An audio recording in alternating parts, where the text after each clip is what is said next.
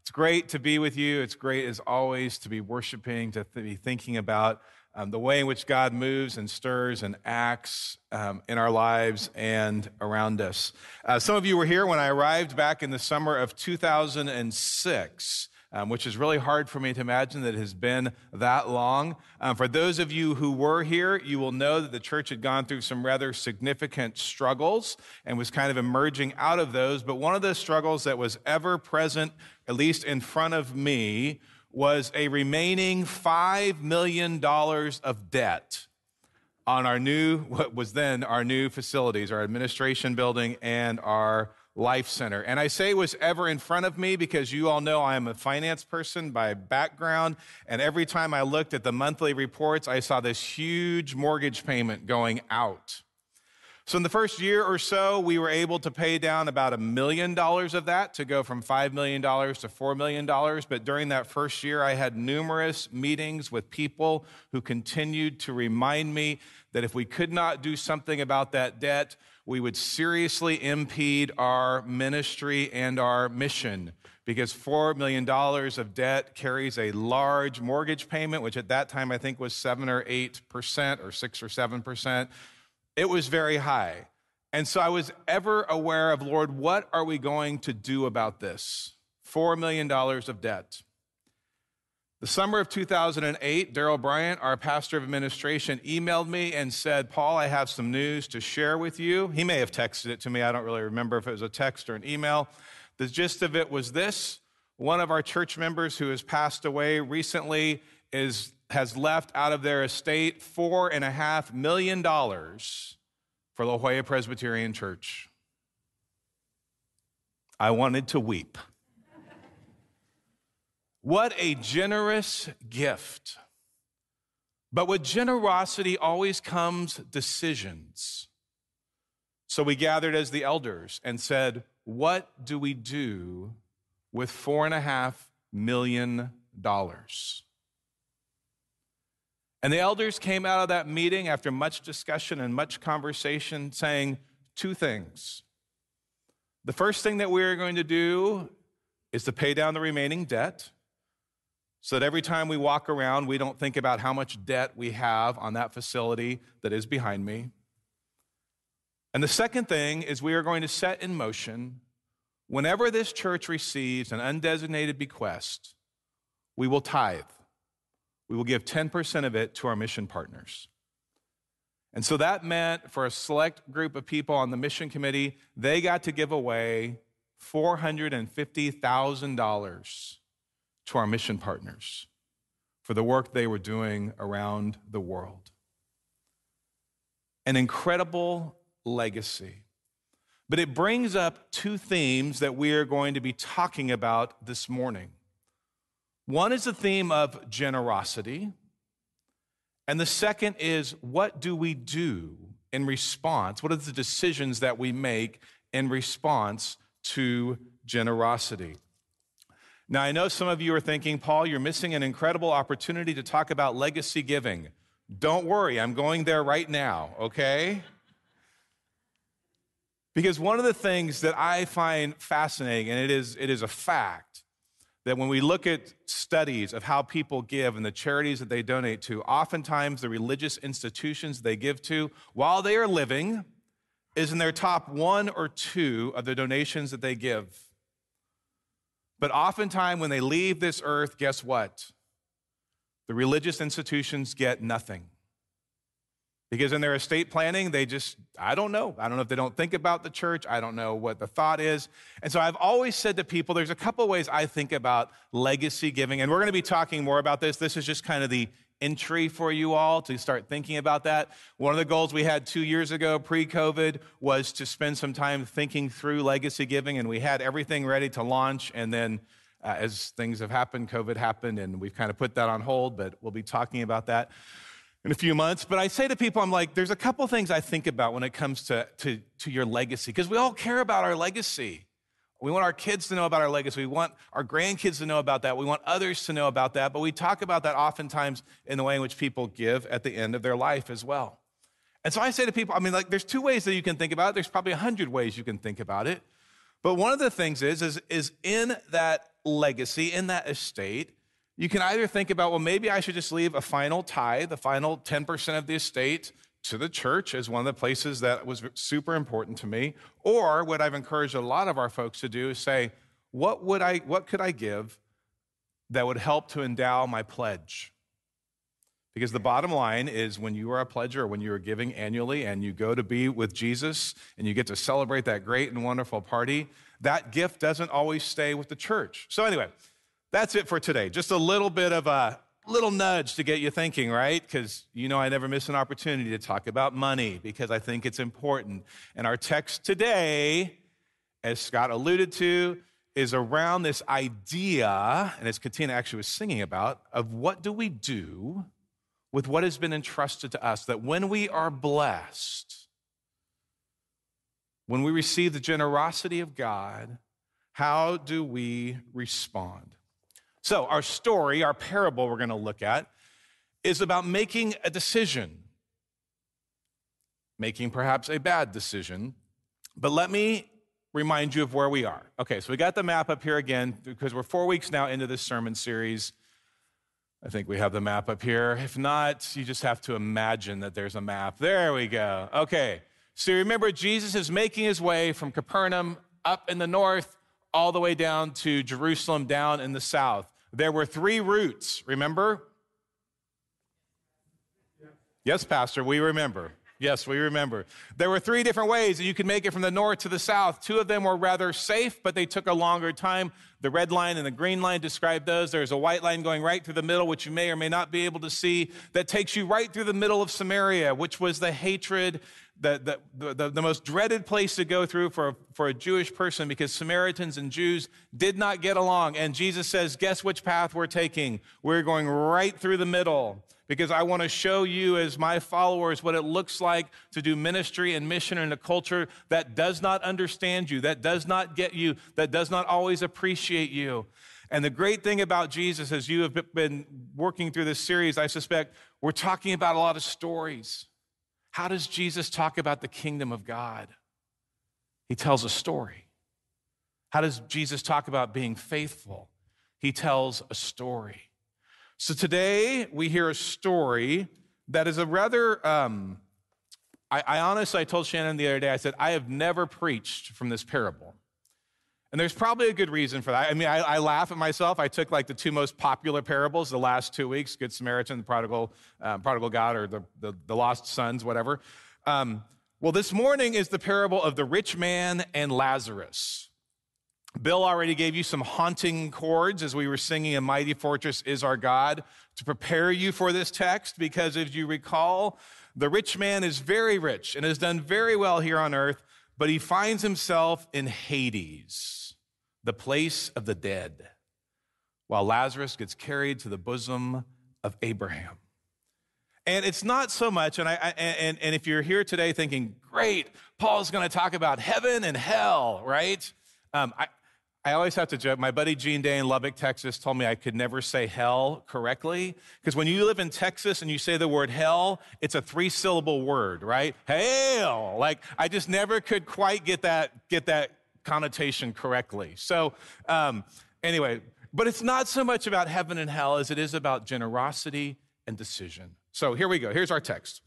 Luke chapter 16, verse 19. There was a rich man who was dressed in purple and fine linen and lived in luxury every day. At his gate was laid a beggar named Lazarus, covered with sores, longing to eat what fell from the rich man's table. Even the dogs came and licked his sores. The time came when the beggar died, and the angel carried him to Abraham's side. The rich man also died and was buried in Hades where he was in torment, he looked up and saw Abraham far away with Lazarus by his side. So he called to him, Father Abraham, have pity on me and send Lazarus to dip the tip of his finger in water and cool my tongue. That sounds disgusting to me, by the way. Have you ever thought about like putting your finger in water and sticking it in somebody else's tongue? Isn't that what it said? Yeah, just making sure that yeah, I'm reading that correctly because I am in agony in this fire. But Abraham replied, Son, remember that in your lifetime you received your good things, while Lazarus received bad things. But now he is comforted here, and you are in agony. And besides all this, between us and you, a great chasm has been set in place, so those who want to go from here to you cannot, nor can anyone cross over from there to us. He answered, Then I beg you, Father, send Lazarus to my family, for I have five brothers. Let him warn them so that they will not also come to this place of torment. Abraham replied, They have Moses and the prophets. Let them listen to them.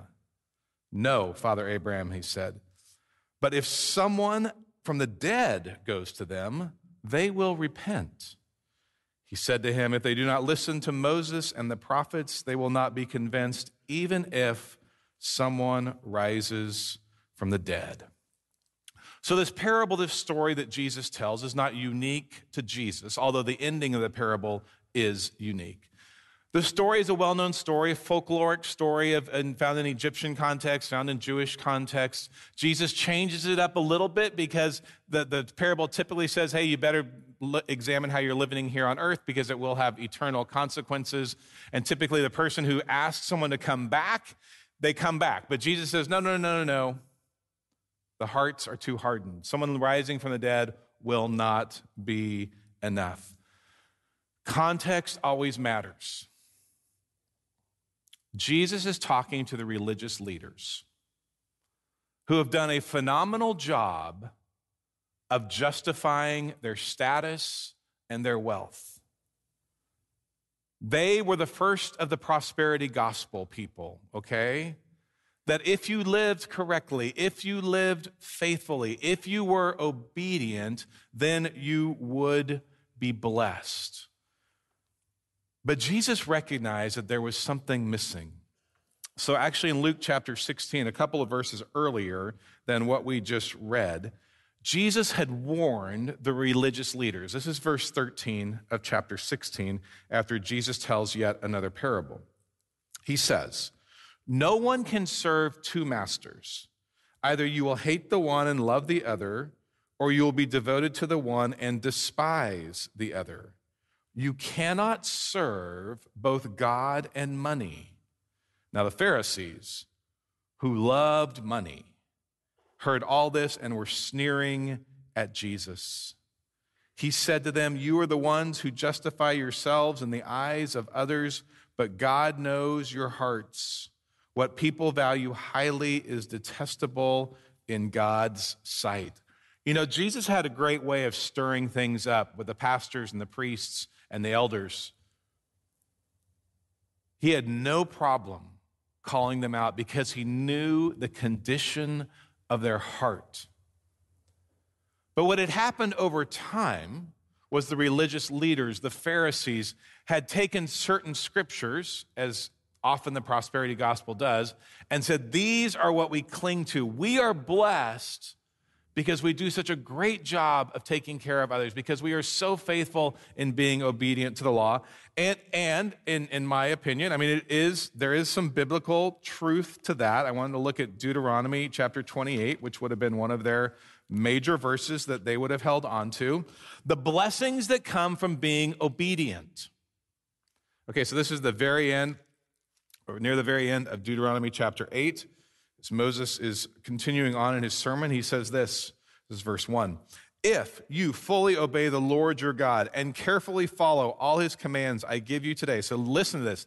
If you fully obey God, you carefully follow all his commandments I give you today, the Lord your God, and here come the blessings, will set you high above all the nations on earth. All these blessings will come to you, will come on you and accompany you if you obey the Lord your God. And notice there is a colon there, right? So here come the blessings.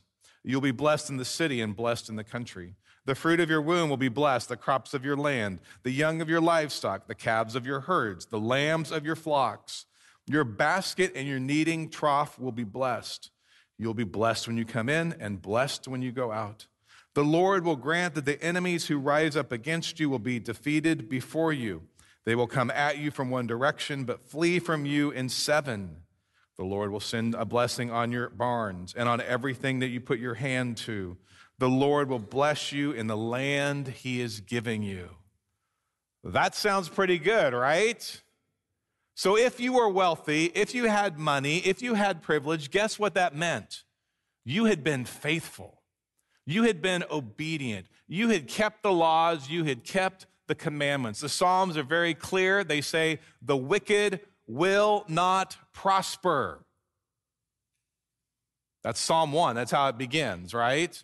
So you could very easily come up with this notion of saying, well, you know, wow, I am so faithful because look at all that I have.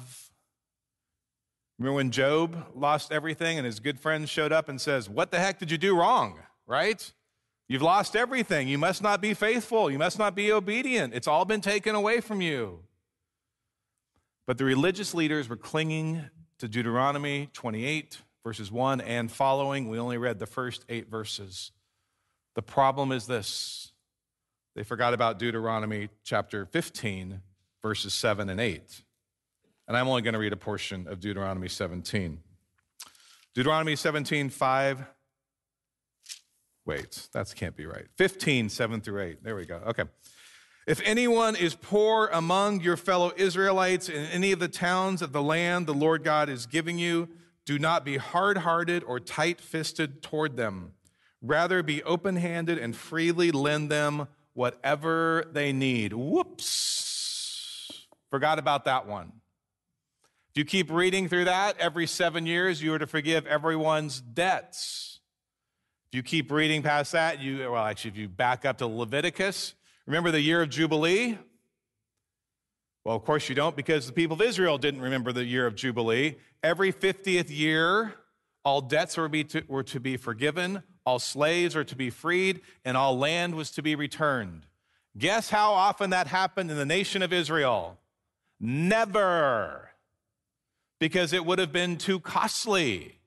Because I've worked hard, I've accumulated all this. God is faithful, and I have been faithful, so therefore I deserve this. And Jesus said, No. No. No, you've missed the point.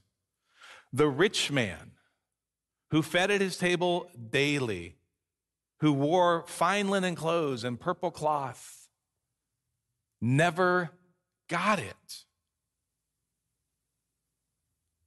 Okay, we're going to come back to him in just a moment, the rich man.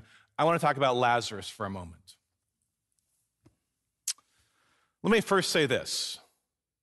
In Jesus' days, dogs were not man's or woman's best friend. You did not take them everywhere you went to eat. You did not walk them around and feed them better food than you eat at your own table. I know that as one who has two dogs that I'm like, man, this food costs a lot of money to feed these little rats that we own and call dogs. I'm kidding. My wife's probably listening and I'm in trouble now. So, um, Anyway, but man, dogs were not people's best friends. They were seen as impure, they were seen as unclean, they were seen as scavengers, and perhaps some of you actually see dogs the same way. I don't know. But it, they were not these cuddly little creatures that we all have and love and, and care for. So that, that's the first thing about Lazarus. Second thing is this how many parables that Jesus tells does he give a name to somebody in the parable?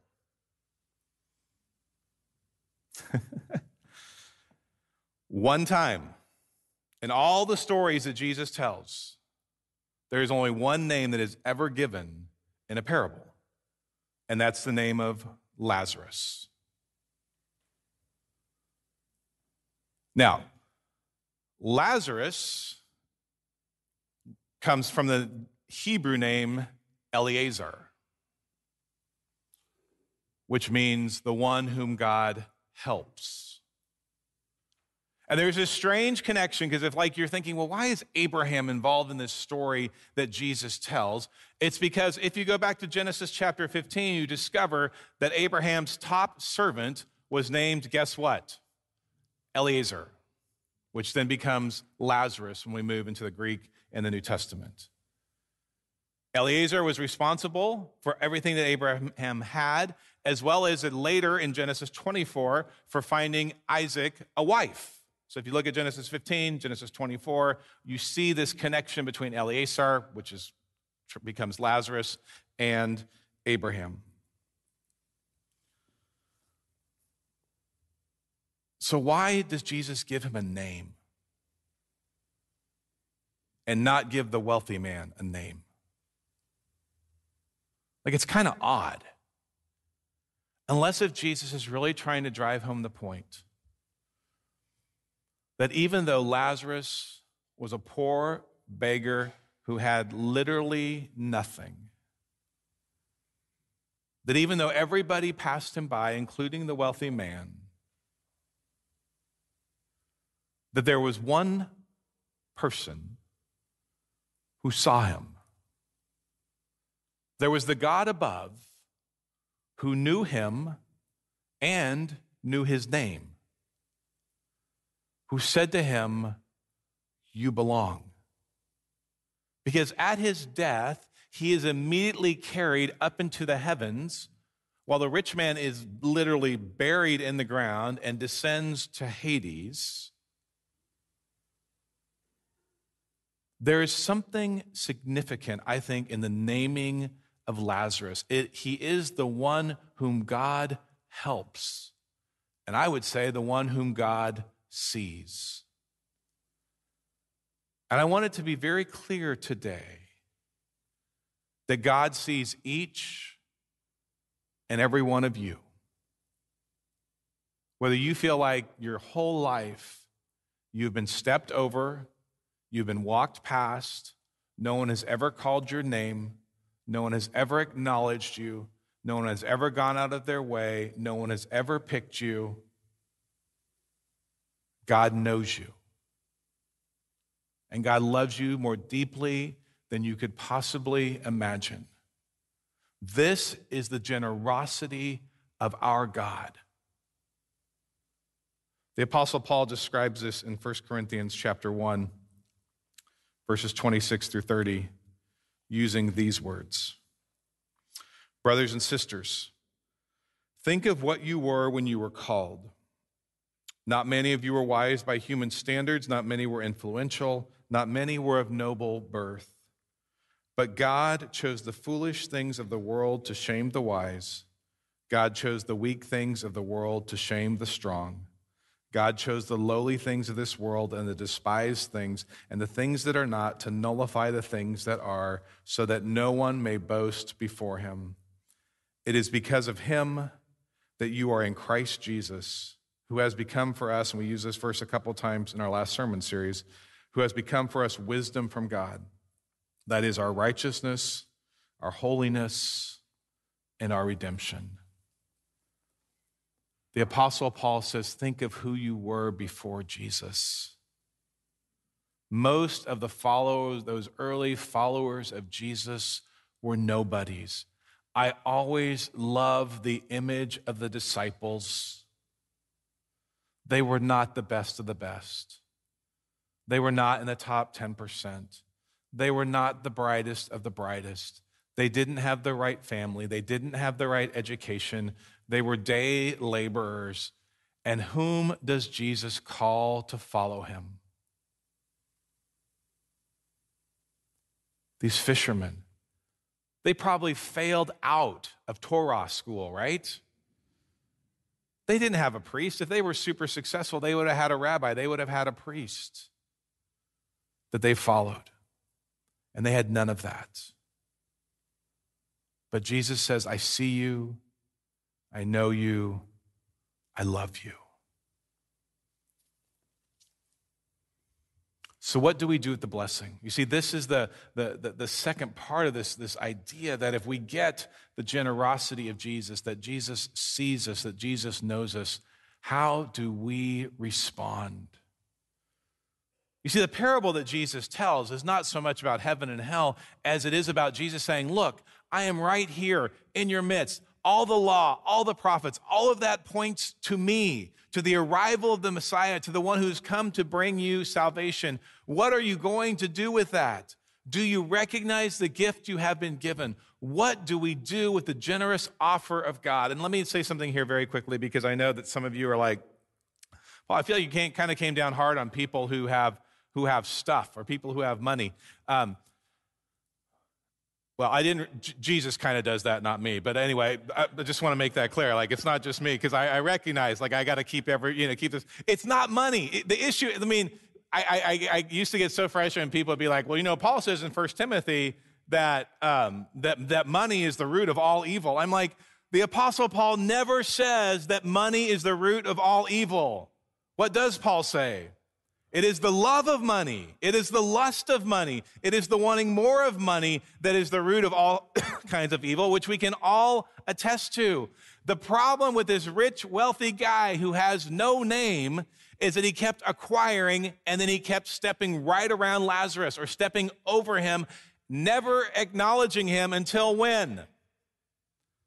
When he is in, all of a sudden, guess what? Guess when he knows Lazarus' name? When he's in Hades, right? He never acknowledged him. And oh, all of a sudden he's burning up in Hades. It's like, Lazarus, right? I know your name now. Little too late, sorry, but I know your name. But he never called him by name. He just simply walked by. And I think Jesus is saying to those religious leaders, you have been financially blessed. Don't think you've earned it. But there is a responsibility that comes with that. And I think for us as followers of Jesus, we must always be keeping our eyes open for those in need. And we know that we can't respond to every single thing, and I want to relieve you of that thought. Jesus himself did not heal everybody, he did not give everybody something, but he did heal, and he was generous. And I think for us, it is a good reminder that we can't be overwhelmed by all the needs. But when there's someone on the side of the ditch, like we read about in the Good Samaritan, or when there is a beggar lying on the road, or when someone cries out for help, we can at least acknowledge them, whether we know their name or not. Because God has been so generous with us. Now, there's one more part of this story that we want to look at, and then we're going to wrap, we're going to wrap things up. And this has to do with Jesus continuing to push on the Pharisees of saying, you don't get it. You don't know who's in your presence. You're missing out on all the laws and the prophets that have been pointing to my arrival. Please don't miss it. And, and, and what they really want, and you see this in the story, and you see the rich man saying this, he says, Hey, go to my five brothers, Lazarus, the one whom God has, has, has blessed, the one whom God has been with. If you show up having been raised from the dead, they will change. And Jesus says, No, they won't. Now, how does Jesus know this? Well, Jesus actually had experienced this, not in his own dying and rising, but in the Gospel of John. I want to read you this story. You know this story well. This is not a parable, this is gospel. This is about the brother of Mary and Martha, whose name was Lazarus. As you recall, Lazarus dies, Jesus grieves, Jesus shows up. Mary and Martha are not super happy that he didn't get there in time to heal their brother. And then we read this. This is after Jesus has raised Lazarus from the dead. Therefore, verse 45, Many of the Jews who had come to visit Mary and had seen what Jesus did believed in him. But some of them went to the Pharisees and told them what Jesus had done. Then the chief priests and the Pharisees called a meeting of the Sanhedrin, kind of the Supreme Court of Israel. What are we accomplishing? They asked. Here is this man performing many signs. If we let him go on like this, everyone will believe in him, and then the Romans will come and take away both our temple and our nation. Then one of them, named Caiaphas, who was the high priest that year, spoke up You know nothing at all. You do not realize, now listen, listen to this prophetic line. You do not realize that it is better for you that one man die for the people than the whole nation perish. If one is to die, the rest will live. He did not, verse 51, say this on his own, but as high priest that year, he prophesied that Jesus would die for the Jewish nation, and not only for the nation, but also for the scattered children of God, to bring them together and make them one. And then this line So from that day on, they plotted to take his life. Surely, if someone is raised from the dead, we will believe. Nope. Lazarus, literally, not the parable guy, the literal man, the brother of Mary and Martha, is raised from the dead. The Jewish people believe, but some of them go to the Pharisees and say, You're not going to believe what happened. And how do the Pharisees respond to that great and wonderful act that has happened with Lazarus being raised from the dead? We're going to kill Jesus. We're going to take him out. Not even a miracle like that will change people's hearts, which is really hard to believe.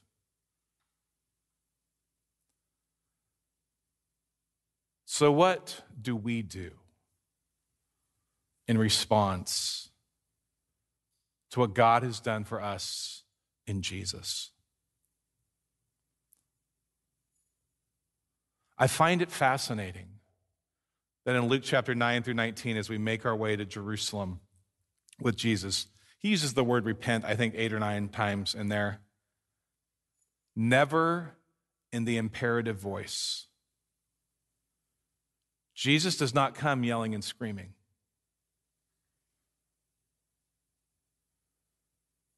Jesus tells stories. He tells stories about God's faithfulness and God's goodness. He pushes back on the religious authorities. But to those on the outside,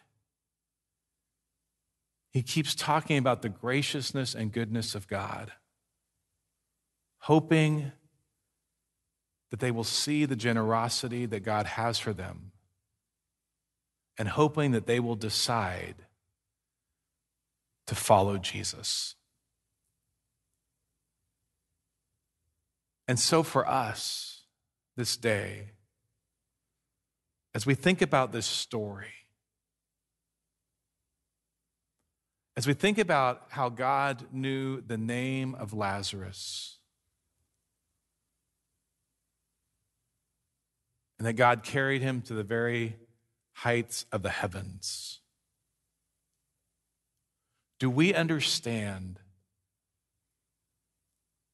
that God knows us in the same way? That God loves us for who we are today. Whether we are on the side of the road, whether we are walking by, whether we are feeling blessings from above, God knows you and God loves you and God calls you by name. This is his generous offer.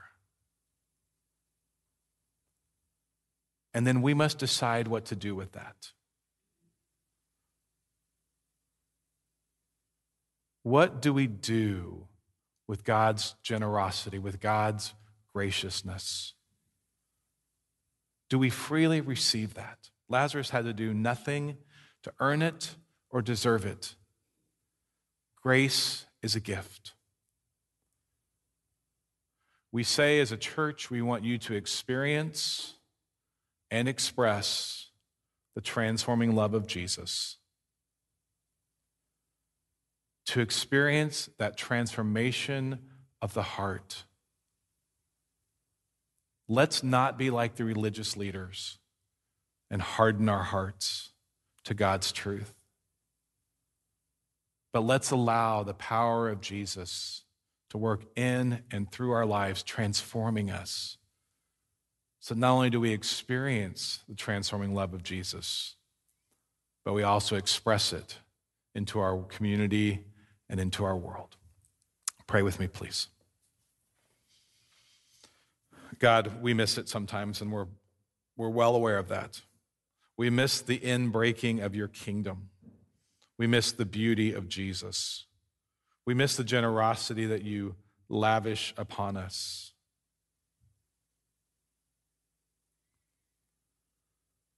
And we're sorry.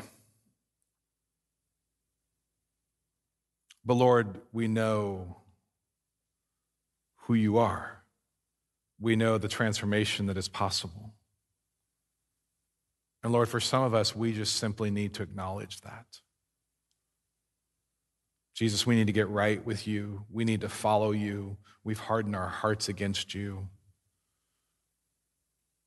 And we simply want to receive and know that we are known and loved, that you call us by name. Lord, let us receive that great truth and let us rest in you. We pray in Jesus' name. Amen.